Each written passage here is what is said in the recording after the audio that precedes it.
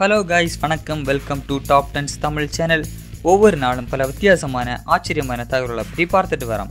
அந்த வகையில் இன்னைக்கு கேடிஎம் பைக் பற்றியும் அதன் வேகத்திற்கான காரணம் பற்றியும் பார்க்க போகிறோம் பைக் பிரியர்கள் மத்தியில் ஒரு பெரும் புரட்சியை ஏற்படுத்திய கேடிஎம் பைக் ஒரு ஆஸ்திரிய நாடு தயாரிப்பு. கேடிஎம்னாலே வேகம்தான். RC two hundred RC three ninety RC eight என பல மாடல்கள் உருவாக்கப்பட்டு இந்தியாவில் தற்போது வெளிவரத் தொடங்கிவிட்டன.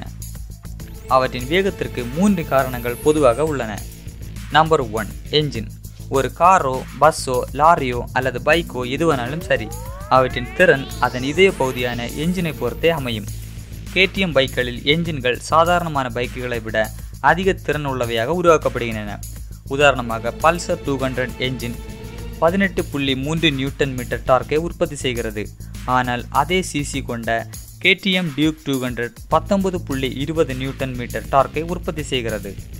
அதே போன்று ஹார்ஸ் பவர் என்ஜின் ரிப்ளேஸ்மெண்ட் மற்றும் என்ஜின் போர் போன்றவற்றில் சில வித்தியாசங்கள் உள்ளதால் கேடிஎம் பைக் என்ஜின்கள் அதிக சக்தி வாய்ந்தவையாக உள்ளன.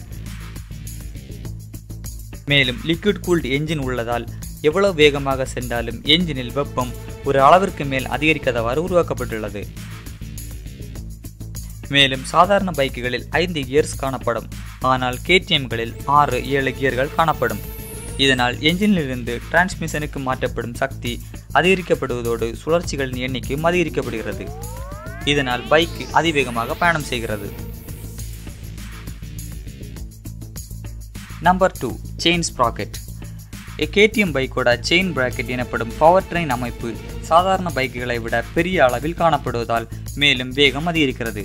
இவை எளிதில் தேய்மானம் அடையாமல் இருக்க அலாய் மெட்டல்ஸ் மூலம் உருவாக்கப்படுகிறது. இந்த செயின்ஸ் பாக்கெட்டை பொறுத்தே பைக்கின் வேகமும் இழுசக்தியும் அமையும். நம்பர் த்ரீ ஏரோடைனாமிக்ஸ் ஏரோடைனாமிக்ஸ் எனப்படும் காட்டுத்தடை ஒரு வாகனத்தின் வேகத்தையும் எரிபொருள் செலவையும் தீர்மானிக்கிறது. கேடிஎம் பைக்களில் சிறந்த ஏரோடைனாமிக் டிசைன் மூலம் உருவாக்கப்படுவதால் சிறிய காற்று தடையும் ஏற்படுவதில்லை. எனவே மற்ற பைக்குகளை விட கேடிஎம் பைக்கள் அதிவேகத்தில் செல்கின்றனர்.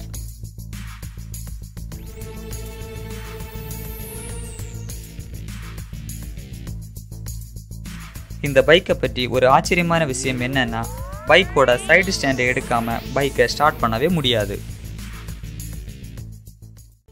ஓகே காய்ஸ் வீடியோ பார்த்ததுக்கு ரொம்ப நன்றி. வீடியோ பிடிச்சிருந்தா லைக் பண்ணுங்க ஷேர் பண்ணுங்க வீடியோ சம்பந்தமான சந்தேகங்களுக்கு கமெண்ட் பண்ணுங்க. மேலும் இதுபோல் பல ஆச்சரியமான தகவல்களை வீடியோ வடிவில் அறிய வேண்டுமானால் சப்ஸ்கிரைப் பண்ணுங்க. ஏதாவது தகவல் உங்களுக்கு வீடியோ வடிவில் தேவைப்படுச்சுன்னா கமெண்ட் பண்ணி ரிக்வஸ்ட் கொடுங்க.